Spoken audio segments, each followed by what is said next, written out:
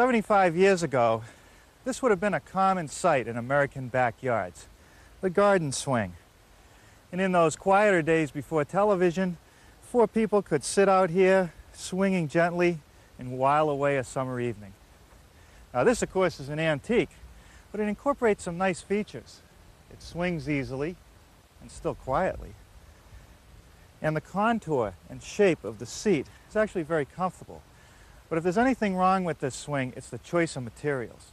It was built with pine. And since it has to sit outdoors all the time, it has to be painted. And as you can see, the paint just won't stick to it, just flaking off. Now also, pine is not very resistant to rot.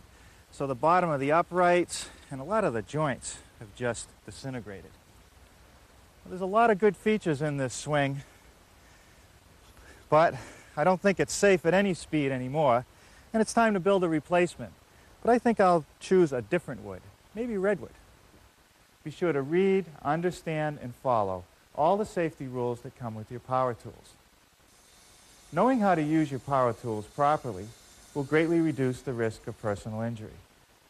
And remember this, there is no more important safety rule than to wear these safety glasses. Here are the four 2x4s for the main frames. Now the bottom of these 2x4s are actually going to come in contact with the ground. And so that I get a maximum amount of bearing surface, I'm going to have to make a compound cut. It'll be angled this way and this way. Now the radial arm is a good choice to make that cut. I first tilted the blade 12 degrees from vertical. And now I'm going to just swing the arm so that it's 13 and a half degrees from zero. Now with this setup, I'll be able to cut the bottoms of all my supports, and I'll also make a similar cut at the top, for looks more than anything else.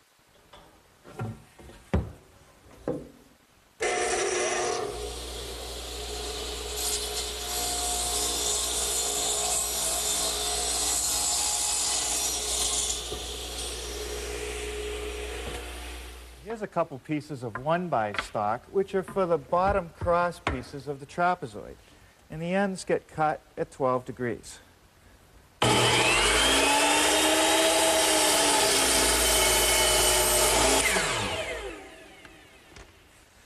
the length of these pieces is 83 inches from long point to long point.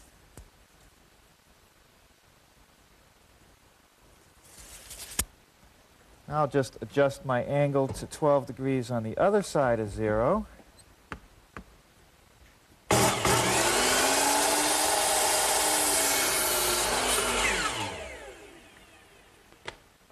Now the top piece of each frame is made from a 2 by 4 and the angle is the same, 12 degrees.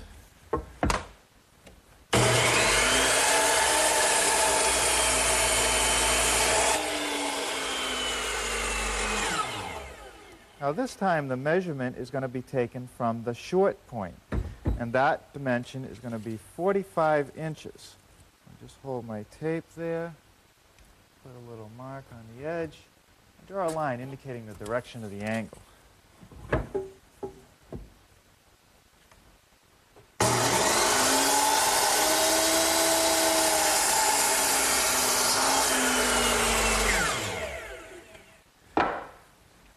Antique swing set, the cross pieces were just mounted on the surface, bolted together. But I think it's much stronger if we let them in.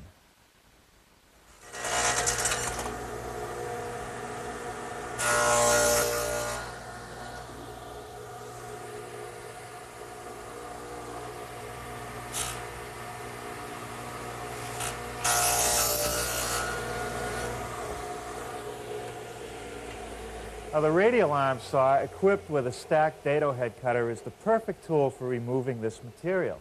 That's because I can see the cut. Now I've turned the angle of the arm to 12 degrees, and that corresponds with the angle at the bottom of the standard.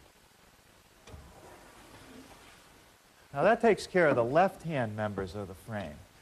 Now for the right-hand standards, I'm going to have to move the radial arm to 12 degrees on the other side of zero.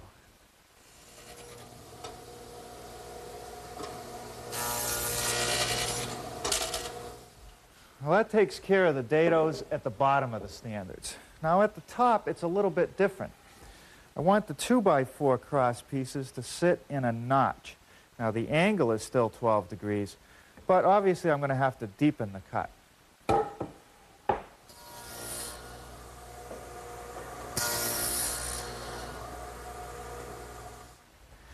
The next pieces to make are these little angle braces.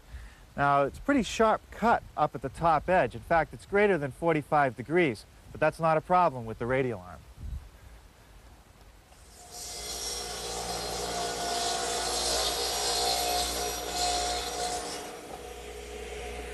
Okay, I'm going to need four of those. Well, now I'm ready to cut the pieces for these cross braces. They're a little tricky. Down here at this end, this angle is 36 and a half degrees. Then I want to measure from this long point along that edge up to here, which is 49 and 7 16 inches, and then cut this end at 8 degrees.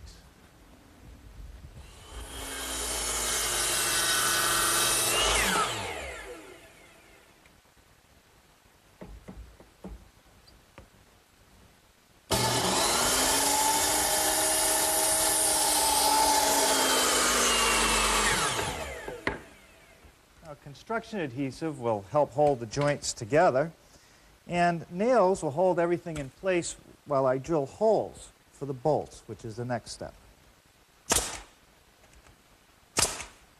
Okay, now we got these braces. Down here, I'm just going to use a clamp to hold it together while I drill the holes.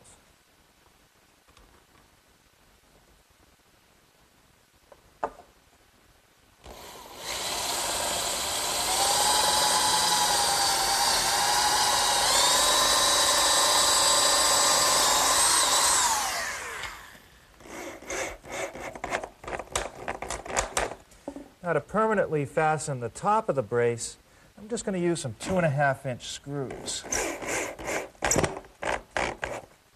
Wherever possible, I'm going to counterbore for the washer and the nut.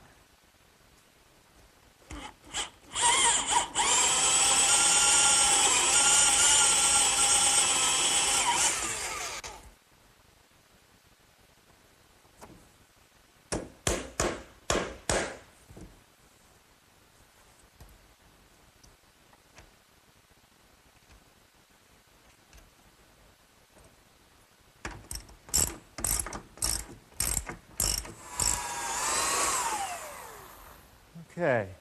With the cross braces held in place with some clamps, I've just drilled the holes for my bolts. The location of the braces is important. The top edge of the brace should be an inch and three eighths from the top of my 2 by 4 and the bottom edge down here should be 24 inches. Well, you'll notice that I'm not using any construction adhesive on these joints. You can't do that, otherwise I wouldn't be able to get it out of the shop later on. Okay, that bolt will secure the center of the cross brace. And now I want to drill two more holes right up through these 2 by 4s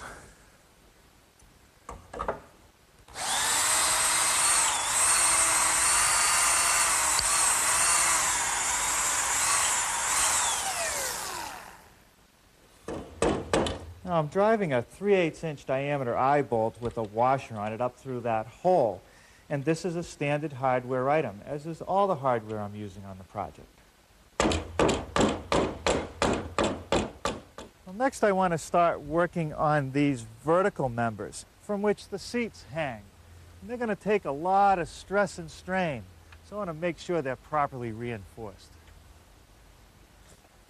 Now the first thing I want to do is bore a hole down from the top for this eye bolt. It has to be perfectly centered and straight.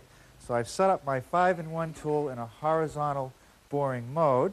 I've clamped a straight edge to the table to position it side to side, and I've set the height so that it's centered. Now I'll just bore a hole about 6 inches deep.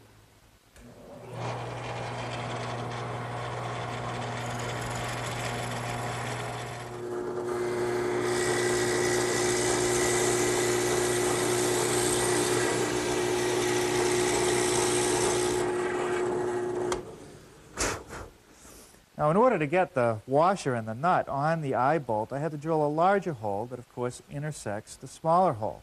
I also didn't go all the way through because every bit of wood I can save now will make the piece stronger. Now, in order for the washer to sit on a flat surface, I'm just squaring up the top edge of the hole. Now, to reinforce the top of these members so they won't split right down the middle, I went out and bought some eighth inch thick by one and a half inch flat aluminum stock. And then I formed them into these U brackets, which will slip over the top of each member. Now to make the bends, all I've done is clamp the piece of material in the vise at the right location for the first bend. Now I'll just bend it over with my hands, and then use a block of hardwood to sharpen up the corner.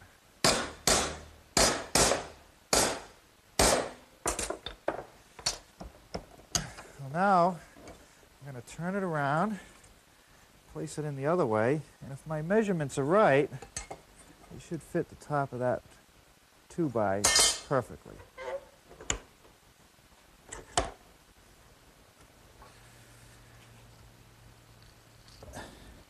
Let's see how this fits. The sides are just about right. But in order to make the top fit snugly, I'm going to have to knock off the corners of the wood. I'll just do that with my block plane.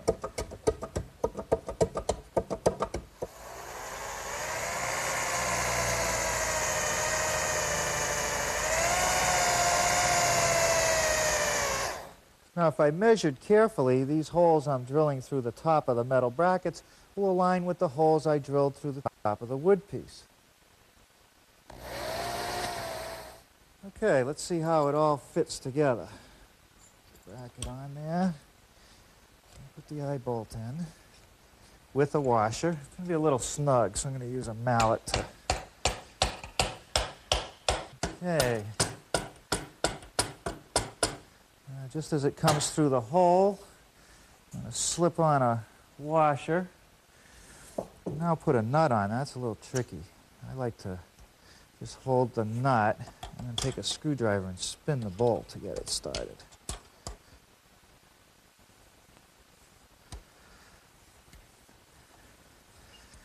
Okay, now another screwdriver to keep that nut from spinning around.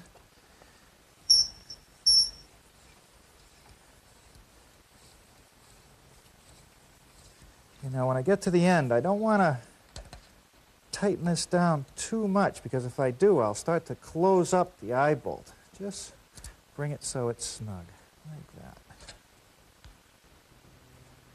Now to hold this sandwich of wood and metal together, I'm going to use some threaded rod and put a washer and a nut on each end. So I need to drill some holes all the way through. And so that I don't hit the eye bolt, I'm going to drill the top hole on this side of center and the lower hole on the opposite side of center.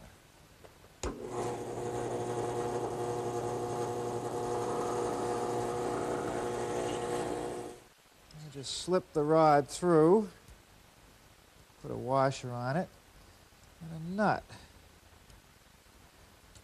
Now, those two rods and that metal bracket is going to add significant strength to the top of these members. And that's just about as far as I wanted to get today. So we'll come back tomorrow and finish it up.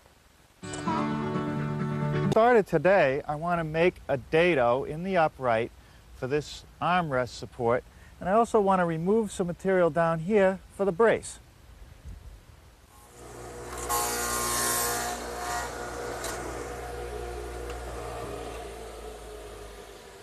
The dado for the armrest support is at 10 degrees to the vertical.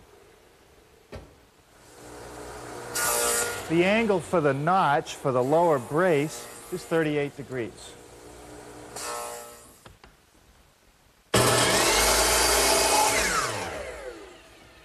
The front end of the armrest support is cut at 10 degrees.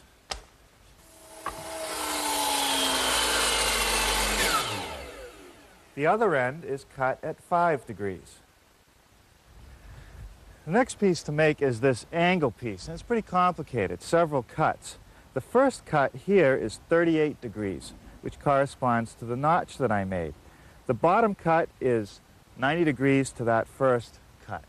Now up at the other end, we want to make a cut that's 41 and a half degrees from this side, and the back is not 90 degrees to the first cut. It's slightly angled back at 5 degrees.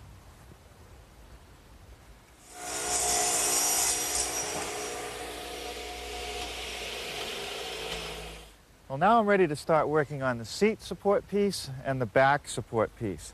I've actually made a couple patterns or templates. These were traced from the antique original. It has the nice contour along the back, and then the bottom is cut off at 5 degrees. Now the seat support piece was also traced from the antique original. It's nicely shaped here, and its back edge is cut at 5 degrees.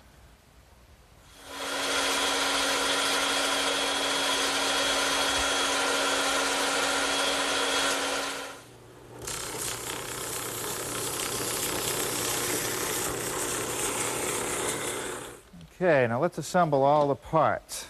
First, the armrest support. A little bit of construction adhesive. Just put it in place. I'm going to tack everything together with nails. I'll bolt it up later. Okay, now I'm just going to flip the assembly over. And the next piece is the seat support. And there's a couple layout lines that are important. The first one is right here at the front of the seat support. It's 10 degrees off the bottom. And what that does is positions it front to back. There's also a line on the hanger piece, which is also at 10 degrees, and it's 14 and a half inches from the bottom up to the line.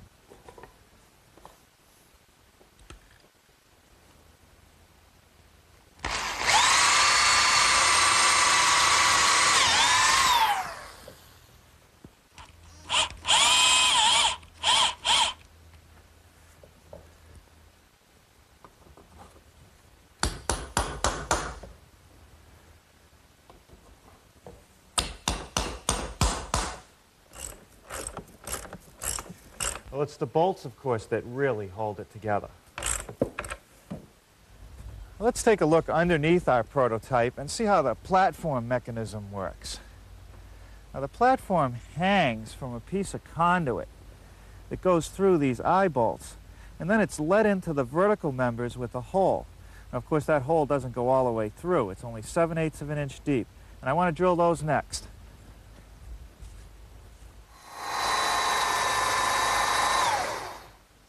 Notice that I installed a piece of tape on my drill bit. That way I'll know exactly where the depth should be.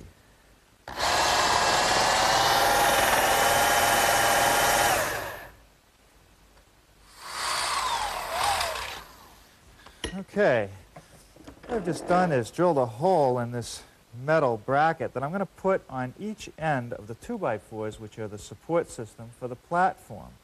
And what they started out as are these standard hardware items, half post caps. I just cut off the unnecessary part with my jigsaw and a metal cutting blade. Okay, now all I have to do is drill a nice straight hole through the end, like I did before, as a pilot for the eye screw.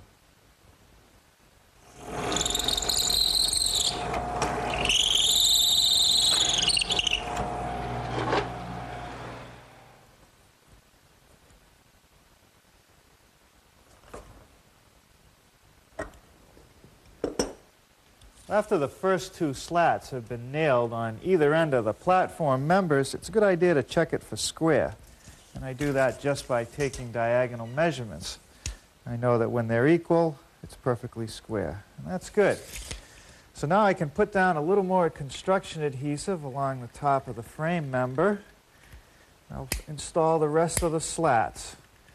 I'll nail them in place with some six penny galvanized finish nails.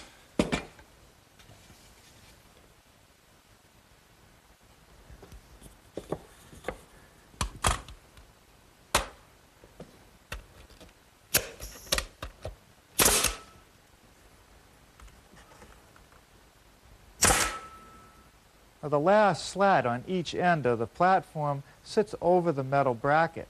I'm still going to use a little construction adhesive. I'm going to have to pre-drill some holes through the bracket for the nails. I also held this back about a quarter of an inch so that it won't hit the upright as it swings.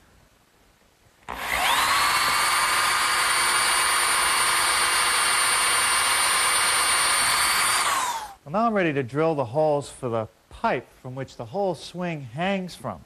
This is actually just galvanized electrical conduit. I'm going to use this scrap piece to lay out the location of the hole I need to drill. Just slip it through the eye bolt, letting it rest on the bottom, and then just by eye, line it up. I'm really just trying to make it parallel to that 2x4. Okay, now to drill the hole, I'm just using a 15 16 inch speed bit. Just want to carefully drill it through.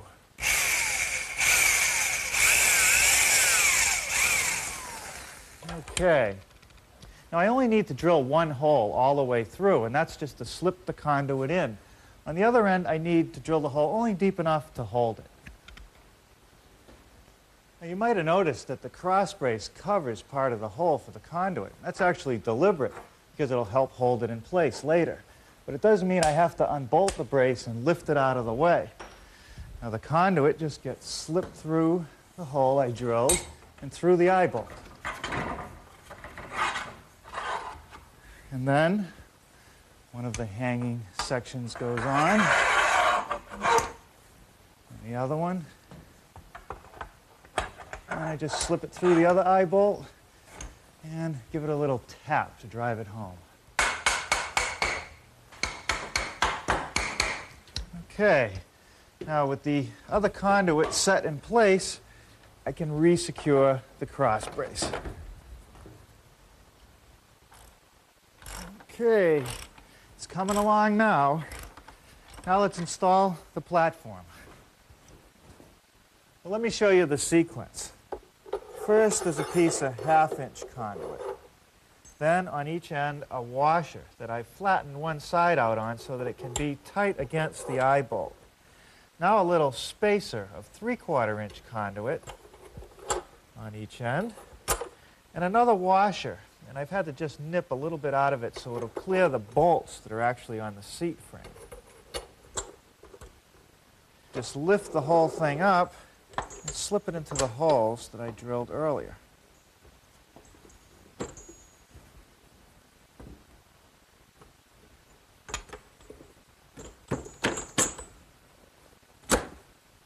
Now, what actually holds this all together are the slats that I'm going to put on later.